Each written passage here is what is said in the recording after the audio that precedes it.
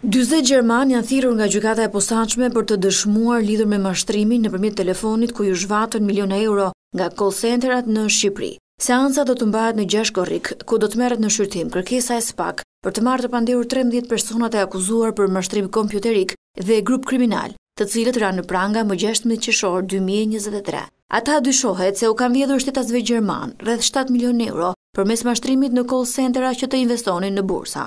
Spak ka dërguar për gjykim trembëdhjetë të pandehur, konkretisht, pronarin e kompanisë Blue Energy, Erion Kasmi, i akuzuar për mashtrim kompjuterik dhe për krijimin e grupit të strukturuar kriminal, Xhulian Xhafën, i akuzuar për mashtrim kompjuterik në bashkëpunim në formën e grupit të strukturuar kriminal. Spak sekuestroi disa llogari bankare mes të cilave shumën prej pesëqind e tetëdhjetë e tetë mijë euro në emër të Kasmit, si edhe njëzet milionë lekë në emër të Xhulian Xhafës. Po kështu një tjetër llogari me shumën e një pikë pesë milionë eurove iu sekuestrua Erion Kasmit në Kosovë. Gjithashtu janë vënë në sekuestro edhe nëntë apartamente, tre garazhe, dy ndërtesa dhe pesë sipërfaqe toke me rreth gjashtë mijë metra katrorë tokë. Po ashtu të arrestuar janë edhe Anduel Gjergji, Eriol Zenuni, Denada Bardhi, Emion Orizaj, Ermir Shehu, Eris Kurila, Ervis Mahmutaj, Ilir Shkurti, Indrit Tila, Klevin Molla, Skerdi Llupi të akuzuar për kryerjen e veprës penale të pjesëmarrjes në grupin e strukturuar kriminal parashikuar nga Kodi Penal.